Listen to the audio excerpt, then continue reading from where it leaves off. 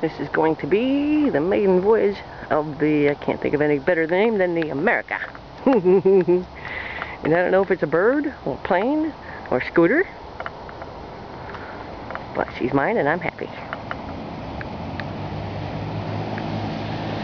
Wind isn't going, so my little spinnies on the back aren't going well.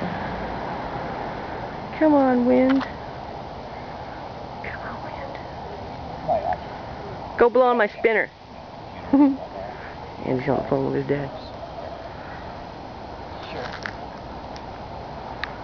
This is going to be fun. Haven't even tried driving it yet, and he only just got it set up. I'm just excited.